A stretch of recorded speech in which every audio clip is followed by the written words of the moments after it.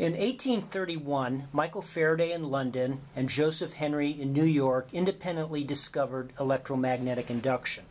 I am going to demonstrate electromagnetic induction with an experiment similar to the one that Michael Faraday performed. I have an ammeter here and I have three coils. I have a coil with one loop, 10 loops, and 100 loops. I also have a, a bar magnet and I will start by connecting the single loop coil to the ammeter. I now have the single loop coil connected to the ammeter and I'm going to move the bar magnet into and out of the, the coil. And if you watch very closely you can see a slight deflection of the ammeter needle. Okay, so now let me connect the 10 loop coil.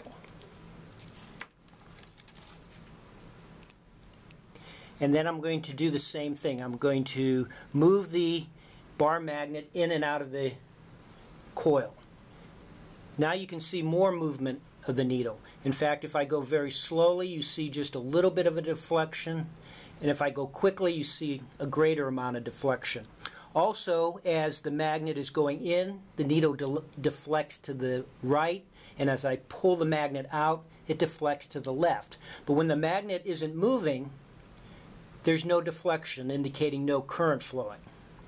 Okay, so when the magnetic field is changing going into the coil, there's a positive current flowing. When it's changing coming out of the coil, there's a negative current flowing. And now let me connect the 100 loop coil.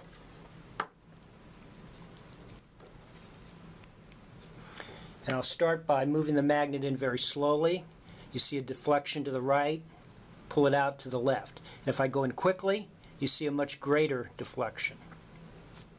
Okay, so the rate of change of the magnetic field affects the current also. We saw that as the number of turns in the coil increased, the current increased. So the current is proportional to the number of turns, which we'll use N to represent. We also saw that the current increased as the rate of change of magnetic flux inside the coil increased. So d psi dt represents the uh, change in the magnetic flux inside the coil. Now, if we were to monitor the resistance of the whole circuit, that is of the coil and the wires and the ammeter, we would find that the current was inversely proportional to the total resistance of the circuit.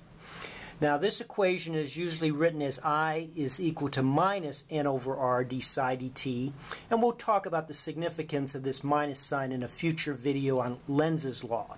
So now if we multiply both sides of the equation by r, we get Ri equals minus n d psi dt, and resistance times a current is a voltage or a potential. We call that the electromotive force, and so the electromotive force is equal to minus n d psi dt. And this is known as Faraday's law.